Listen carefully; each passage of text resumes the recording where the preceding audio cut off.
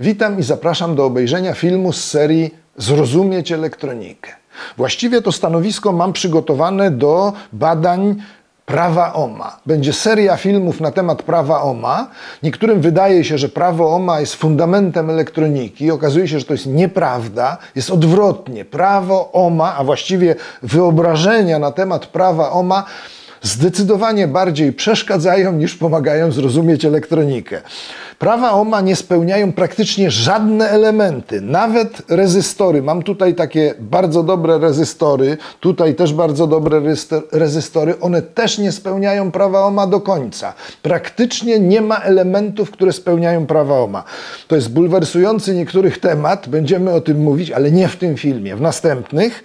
Natomiast w tym filmie ja chciałbym zachęcić Do czegoś, zachęcam do zostania elektronikiem czarodziejem.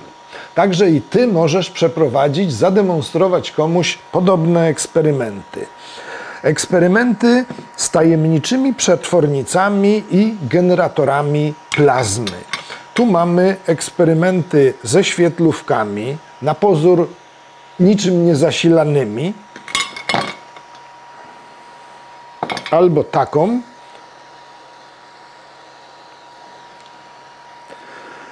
Tu mam neonówki. Proszę bardzo. Inna neonówka. Jeszcze inna. Tu mam neonówki w plastikowej torebce. Proszę bardzo. Też neonówki w plastikowej torebce z niebieskim luminoforem. Albo jak kto woli, zielonym. Tu mam neonówkę dość dużą, widać świecenie w dwóch kolorach. Tu nie mamy plazmy. Tu mamy niebieską diodę LED i właśnie takie układy możesz także i ty zmontować i cieszyć się ich działaniem. Tu akurat mamy przykład bezprzewodowego przekazywania energii. Ten układ jest zasilany, a ten nie. Z tego układu energia w tajemniczy sposób bezprzewodowy przechodzi do tego. Fascynujące rzeczy. To są naprawdę bardzo interesujące zagadnienia. Ale może powiesz, ja się na tym nie znam, ja tylko trochę się interesuję elektroniką. I tu mam bardzo dobrą wiadomość. W czerwcowym numerze mojego czasopisma Zrozumieć elektronikę są dwa artykuły, które znakomicie pomogą Ci zostać elektronicznym czarodziejem. Jeden artykuł, tajemnicze przetwornice, generatory plazmy, opisuje bardzo proste generatory. Tu mam dwa egzemplarze. To są chińskie zestawy, które kosztują po kilka złotych, najwyżej kilkanaście złotych. Z tym, że warto kupić od razu dwa jednakowe albo nawet trzy jednakowe. Jak się coś zepsuje, będzie rezerwa.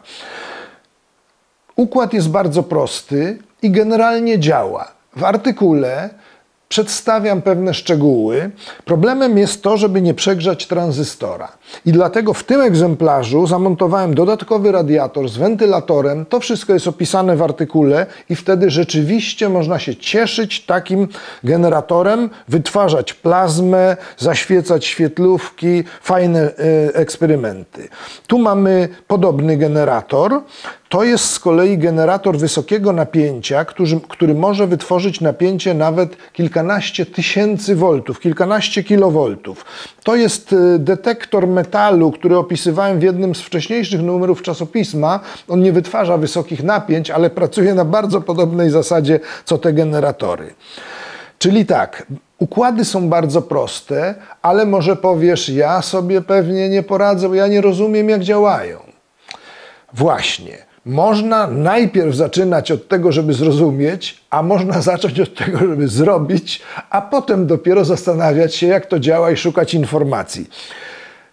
Proponuję w tym wypadku tę drugą e, drogę, żeby najpierw zrobić i się cieszyć, a potem ewentualnie szukać odpowiedzi na pytania, jak to działa.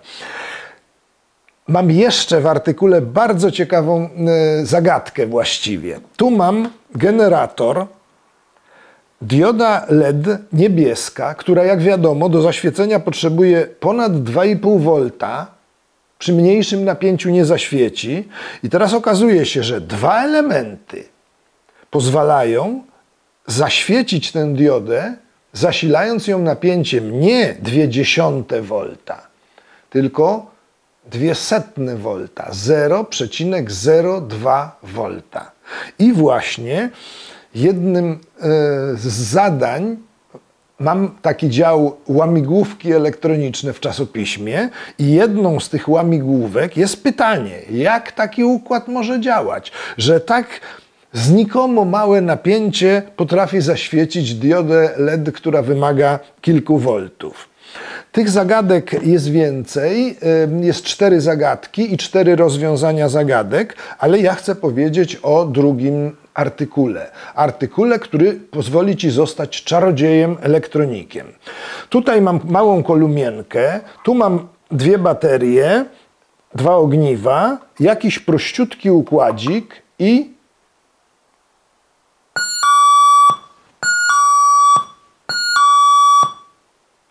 Może rewelacja to nie jest, ale to są układziki takie jak ten. Każdy kosztuje mniej niż jedną złotówkę. Do tego trzeba dodać jeden tranzystor NPN, no jakieś zasilanie, jakiś przycisk. I w zależności od użytego głośnika możemy uzyskać zupełnie fajny dźwięk. Tutaj mam y, inny układ to jest generator efektów dźwiękowych. Podłączam.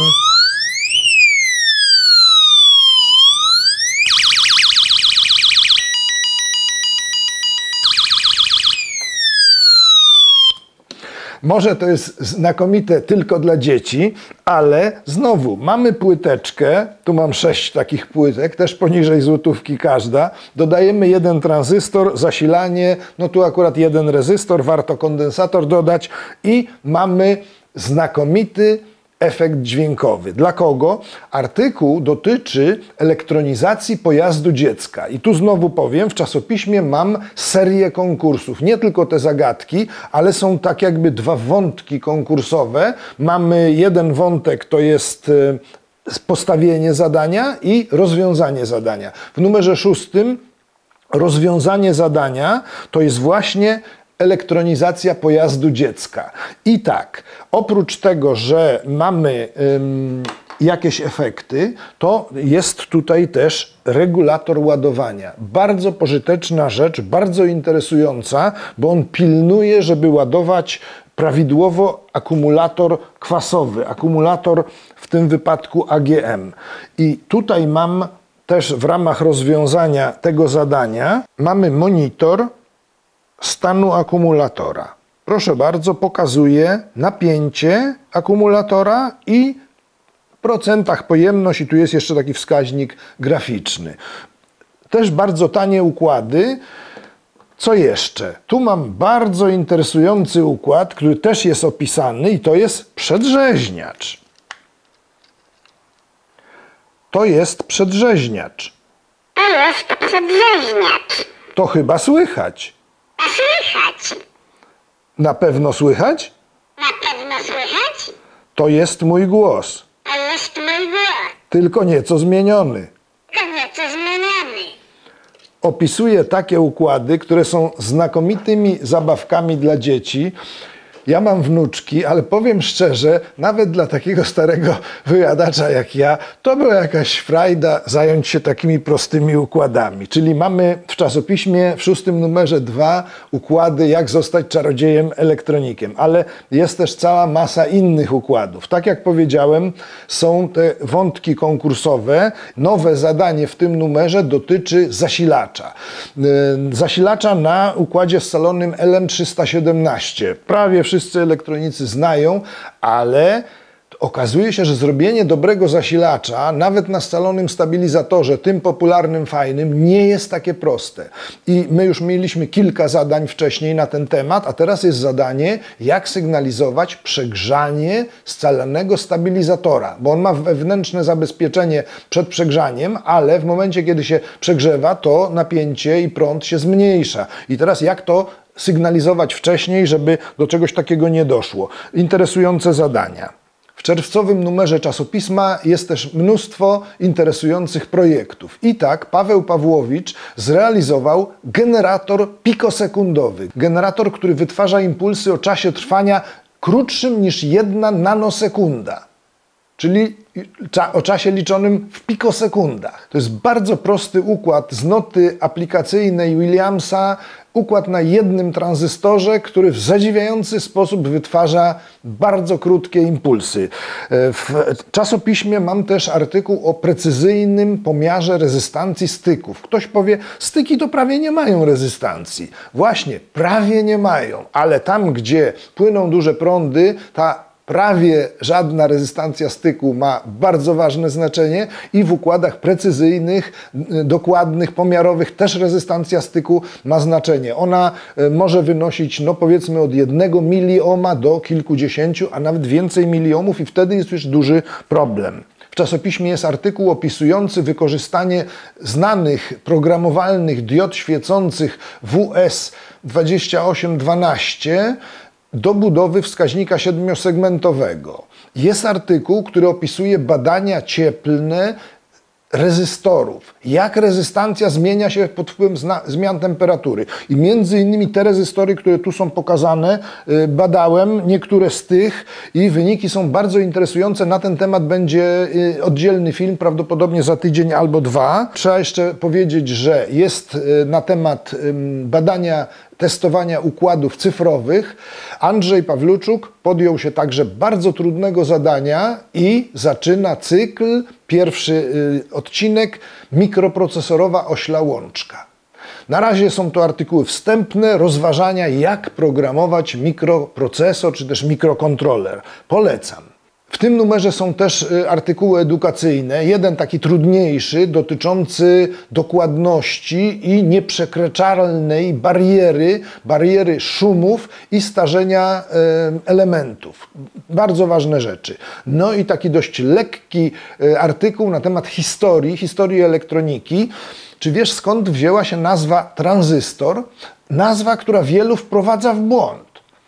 Czy wiesz, że tranzystor właściwie wynaleziono w Ameryce w 1947, tuż przed Bo świętami Bożego Narodzenia, ale w Europie kilka miesięcy później też wy wynaleziono tranzystor. I to nie, że ktoś skopiował. Niezależnie dwóch naukowców stworzyło tranzystor, praktycznie taki jak w Ameryce.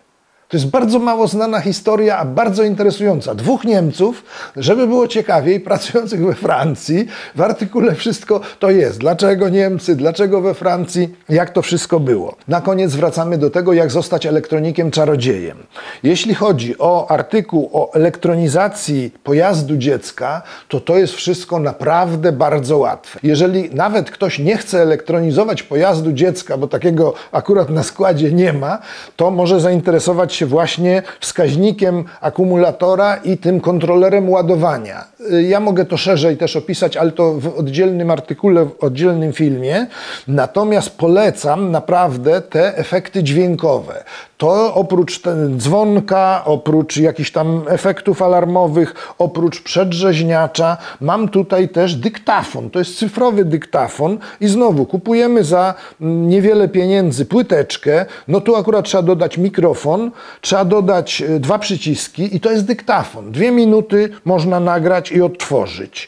E, tu mam jeszcze dwa moduły takie, które są no, trudniejsze trochę do wykorzystania, ale za to dają nieporównanie większe możliwości, bo tu akurat można włożyć kartę mm, fleszową. E, to też jest interesujący układ, ale to już dla troszeczkę bardziej zaawansowanych. Niewiele trzeba umieć, żeby zacząć. Natomiast jeżeli chodzi o te generatory plazmy, te to ktoś powie, ja się boję, bo tu są wysokie napięcia. Są. Tutaj może być napięcie kilowoltów, kilkunastu kilowoltów, ale czy to jest niebezpieczne? Tutaj widzieliśmy, że e, zaświecałem świetlówki i też napięcia są rzędu tysięcy voltów, czyli kilowoltów. Czy to mnie zabije? Nie zabije z kilku powodów. Tu energia, bo to w jednym z filmów poruszałem, że ani wolty nie zabijają, ani ampery nie zabijają, tylko mm, energia. I tutaj ta energia nie jest zbyt duża i y, jeszcze częstotliwość jest za to dość duża i występuje tak zwany efekt naskórkowy, i to powoduje, że prąd nie płynie wewnątrz ciała przez e, serce i tak jakby ryzyko jest niewielkie. Ale czy to jest całkowicie bezpieczne? No nie. Osoby, które mają rozrusznik serca wszczepiony, na pewno nie powinny się tym zajmować, albo lekarza zapytać, upewnić się, czy to im nie zaszkodzi. Osoby niewykwalifikowane, niepełnoletnie, dzieci absolutnie nie mogą tego robić sami, tylko pod opieką wykwalifikowanego opiekuna, na przykład nauczyciela, co można y, stracić? Można się poparzyć. Y, życia to raczej nie stracimy, ale tu są wysokie napięcia, energie nie są śmiertelnie groźne, ale boleśnie można sobie poparzyć palce bo te wysokie napięcie, no przy dotknięciu tam jednak płynie prąd i to szczypie dosyć mocno i można no dosłownie skórę sobie sparzyć, czyli trzeba być ostrożnym. Czyli tak, osoby niepełnoletnie i młode tylko pod opieką e, wykwalifikowanych opiekunów, a inni dorośli na własne życzenie, na własne ryzyko mogą takich prostych eksperymentów się podjąć, eksperymentów fascynujących. Zachęcam do lektury mojego czasopisma. Ten szósty numer, on jest dostępny w wersji skróconej na mojej stronie piotrmyślnikgorecki.pl i tam można pobrać PDF-a skróconego. Ale na przykład artykuł na temat tych efektów dźwiękowych i tej elektronizacji e, pojazdu dziecka, ten artykuł jest w całości nieskrócony, inne są skrócone, konkursy wszystkie są nieskracane, także można sobie po, pobrać tę wersję. Natomiast jeżeli ktoś chciałby pełną wersję e, czasopisma przeczytać, wszystkie artykuły, to dostępne są albo przez Patronite dla moich patronów i tu bardzo serdecznie zapraszam do wspierania mnie za pośrednictwem Patronite. Można też e, postawić mi kawę. Informacje są na mojej stronie, a jeżeli ktoś nie chce korzystać z Patronite i ujawniać swoich danych, to może do mnie napisać, są jeszcze inne możliwości. W tym filmie to tyle. Dziękuję bardzo.